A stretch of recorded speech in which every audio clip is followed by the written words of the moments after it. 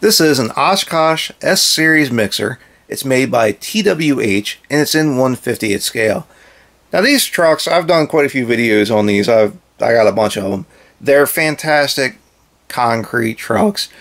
Um, for the detail, the quality, and the price, this is the best concrete mixer that you can get hands down. They're just great trucks. Now all these all these Oshkoshes are set up in that uh, I guess you call it the mid Midwestern states or Great Lakes states um, axle configuration where you have axles out the wazoo. Now this version is made for the Harvey Ready Mix Company of Manitowoc, Wisconsin. So I guess it falls into that that area where you can I you know, I don't know what the axle laws are, but yeah, you see some of those uh you see some of those trailers, like a dump trailer, it's got like, I don't know, four, five, six, seven, eight axles on it. so I guess uh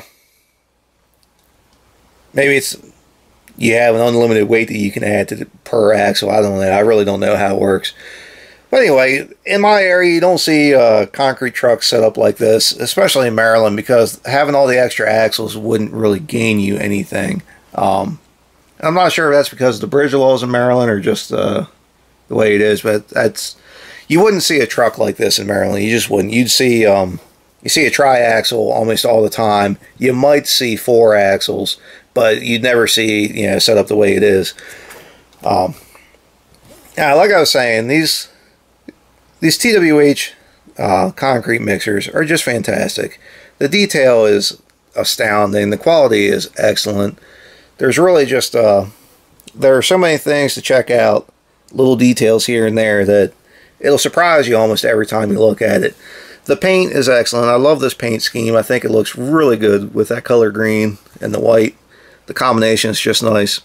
Um, the decaling and everything is also very good all the warning labels and everything also look good. I mean, even have the you know, the warning labels on the battery box back there. Everything's just excellent. If you flip open the hood cover, I still have the rubber on here. The motor detail is excellent. You can see the um, all the detail here around the uh, the drum uh, motor. Everything's just really good. You got your water hose up there. It runs up. It's just fantastic.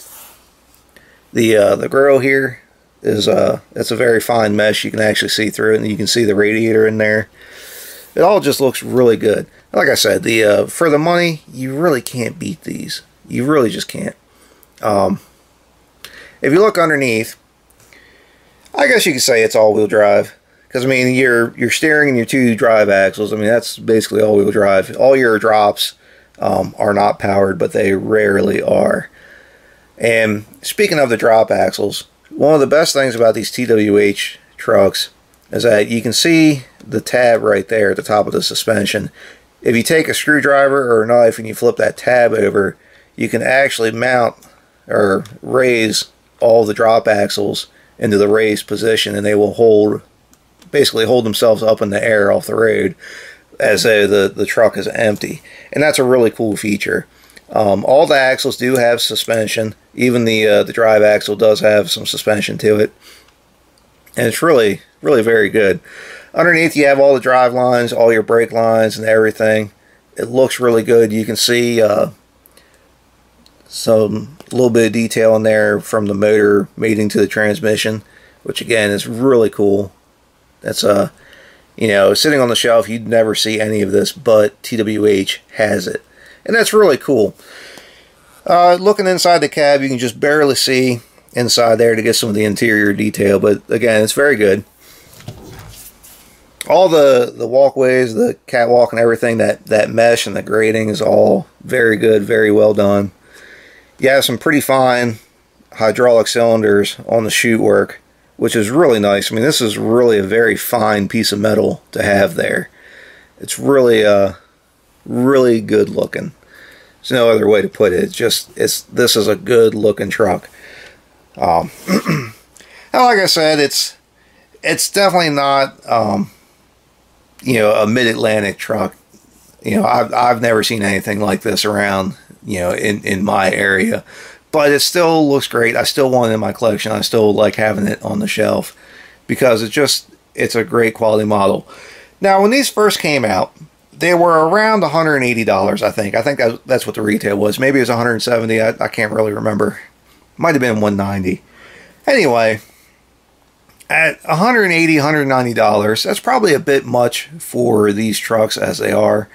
But TWH made so many of these trucks that some of them are still around the $180 mark. And that's because some trucks that didn't make as many of. Like the Harvey version here, there's not as many of them, so they're a little bit more expensive. But the standard white version and the uh, the Oshkosh company versions, um, there's one for uh, it's like a safety truck. Those are fairly common, and those trucks can be found for well under a hundred dollars.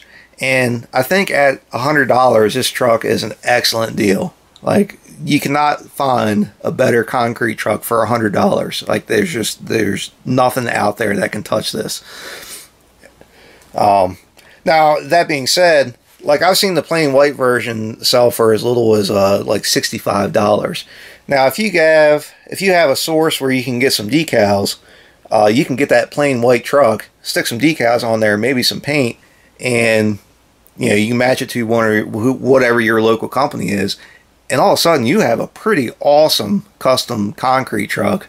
You know, you can put that together for a hundred dollars, and that's pretty awesome. It's not very not very often that you can get a really good quality custom model like that for a hundred dollars, but with these concrete trucks from TWH, it's possible to do that, and that's fairly uncommon to have have a combination like that where you can come up with something really nice for not a lot of money. Anyway, that's about it. Um, if you have any questions or comments, feel free to ask. If you'd like to see more of what we have, please subscribe to Maryland Construction Diecast. And thanks for watching.